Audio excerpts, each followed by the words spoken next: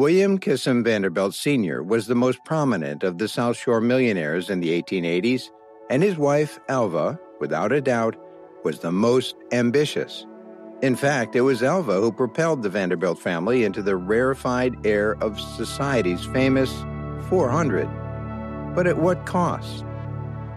Alva Vanderbilt was born on January 17, 1853, in Mobile, Alabama, to Murray Forbes Smith, a successful cotton broker, and Phoebe Desha Smith, the daughter of General and Tennessee Congressman Robert Desha. A year or so prior to the outbreak of the Civil War, Alva's father moved his family to New York City.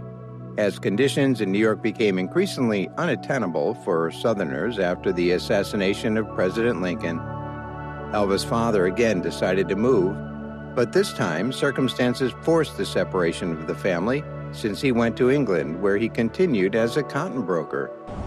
The rest of the family took up residence in Paris, where they remained for four years before returning to the United States. Unable to regain the family's wealth and social position in the South, Smith chose once again to settle with his family in New York City, where he continued trading cotton while his wife established and ran a boarding house. Undaunted by the loss of social and economic status, Alva plotted to advance herself in New York's society the instrument of her success was to be Consuelo Yznaga, a Cuban heiress and her childhood friend who socialized with the Vanderbilts. Consuelo managed to introduce Alva to the young William Kissam Vanderbilt Sr. They married in 1875 and had three children a daughter named Consuelo and two sons named William Jr. and Harold. In one masterful maneuver, Alva managed to revive her family's social position and financial status. Her father, who had by this time ruined his wealth worrying about the future of his family, was unable to attend the wedding, William Kissam Vanderbilt Sr., due to his failing health and died 10 days after the wedding, but not before thanking Alva for bringing him peace of mind and encouraging her to care for the family. There can be little doubt that financial and social status considerations were major reasons for her marriage to Willie Kay, whose grandfather, Cornelius's $94 million fortune, was reputed to be the largest in America. From the beginning, it was obvious that they were mismatched. Even as a child, Alva was strong willed, ill tempered, and opinionated, traits that tended to intensify rather than moderate in later life. Willie Vanderbilt, on the other hand, was friendly, cultured, even tempered, gentle, a loving father, and non combative. Alva considered him to be a weak nonentity and marriage to be legalized prostitution. Alva's greatest pleasure in life was building and decorating mansions. Her first architectural adventure was the Vanderbilt's first vacation home, Idle Hour a large, shingled Queen Anne style mansion built in Oakdale, Long Island. Its construction was begun in 1878 and completed the following summer at a cost of $150,000, roughly $3 million in today's currency. The gardener's cottage, greenhouse, stable, entrance gate, and two gatehouses were also erected sometime after the completion of the mansion. Several alterations were made to the mansion, including the addition of a massive bachelor quarter before its destruction by fire in 1899. In 1879, Elva turned her attention to the creation of a new Manhattan residence. The architect was Richard Morris Hunt, a famous architecture at the time, and his home was to be more lavish than their Oakdale residence. Located at 660 Fifth Avenue on the corner of 52nd Street the French chateau style mansion took 1,000 workmen three years and cost $3 million at the time to build.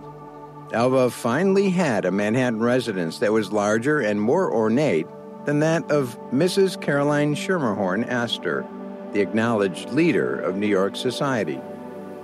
While the Vanderbilts may have been collectively the wealthiest family in the nation, they had not been recognized by Mrs. Astor and hence were socially unacceptable. It was Mrs. Astor's opinion that one's fortune had to be at least two generations old, and one had to be unencumbered by work and trade. Therefore, the Vanderbilts were scorned as nouveau riche and unacceptable for admission into New York's elite 400.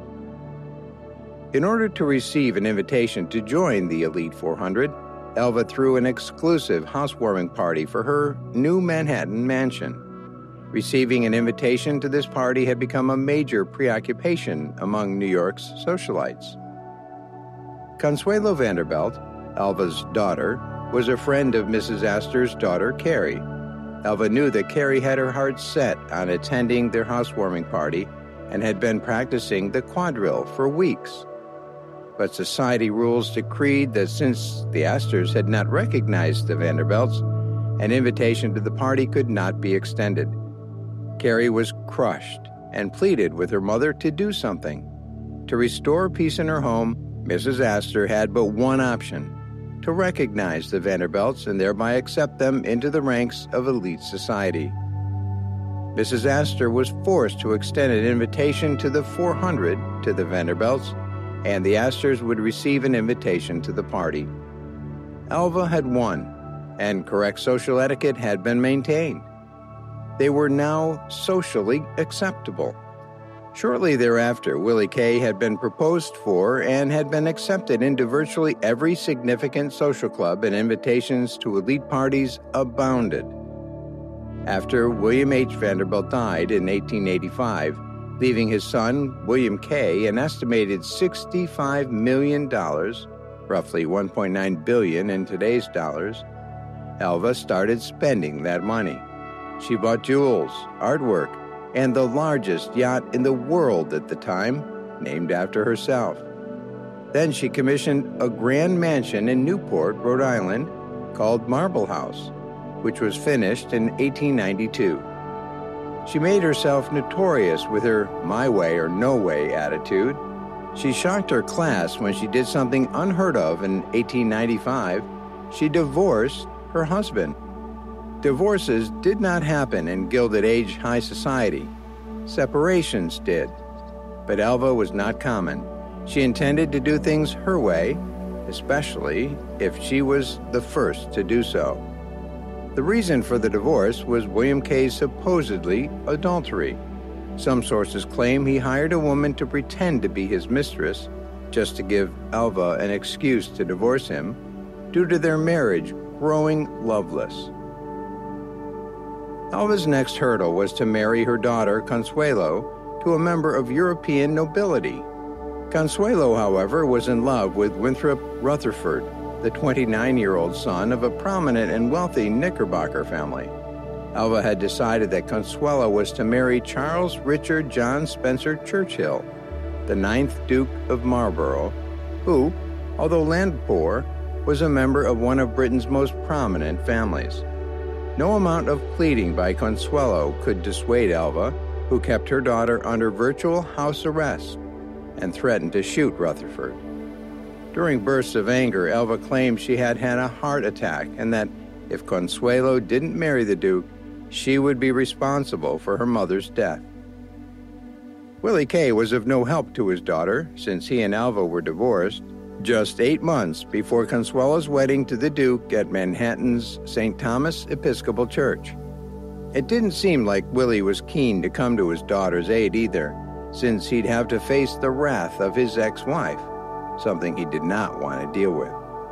Thus, Consuelo, young, impressionable, and without any protection from Alva's ambitions, was forced to yield to her mother's will the marriage agreement reportedly cost Willie Kay $10 million at the time, putting the Vanderbilt family practically on the verge of bankruptcy.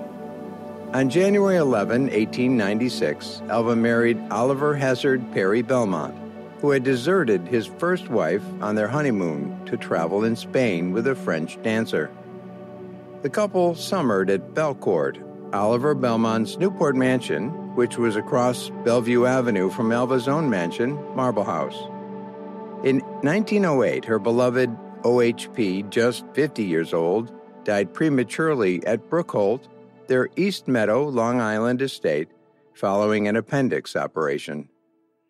Alva was now an extremely wealthy woman, For in addition to Marble House, which she had owned since its completion in 1892, and the annual alimony payment of $100,000, which she had received as a divorce settlement from Willie Kay, she inherited Oliver Belmont's entire fortune, which consisted of several mansions and $10 million.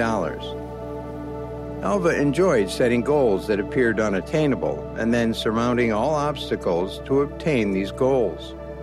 She was, without question, a major trendsetter of her era, being the first of her social stratum to marry a Vanderbilt and the first society woman to demand and receive a divorce and still retain her social position. She single handedly propelled the Vanderbilts into high society and later married O.H.P. Belmont in a civil ceremony presided over by the mayor of New York City when clergy refused to marry them. She decreed that her daughter Consuelo would marry into nobility and did not hesitate to place a guard at her child's bedroom door on the wedding eve to prevent her from running away to her true love. Years later, she would testify to this action in order that Consuelo might obtain an annulment. She became a major organizer and participant in the movement for women's suffrage and is still remembered today for her efforts. Thanks for watching. Check out one of our newest videos right here. Plus, even more videos about your favorite wealthy families are coming soon. Subscribe to our YouTube channel and hit the bell so you don't miss a single one.